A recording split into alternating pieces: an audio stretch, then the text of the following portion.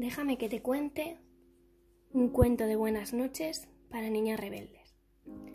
Érase una vez un país que tras un invierno rojo sufrió un asedio y casi sin querer llegó una primavera con una esquina rota. Los hombres buscaban el sentido a esta noche eterna que les privó de un último adiós y de la ridícula idea de no volver a verte. Esta historia parecía interminable. La gente iba y venía, sin hacer caso a los médicos ni a las enfermeras.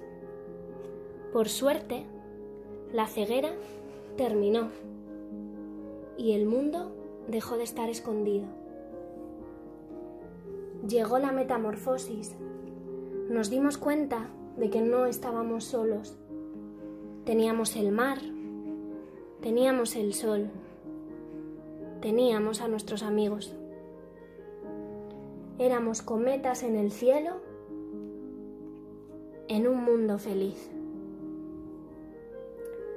Oh capitán, mi capitán, no hay cuento perfecto, sin cicatrices, pero no olvides que siempre, donde quieras, la sombra del viento te llevará a un lugar a donde ir, juntos, nada más. Resiliencia. Así es como termina los días sin ti.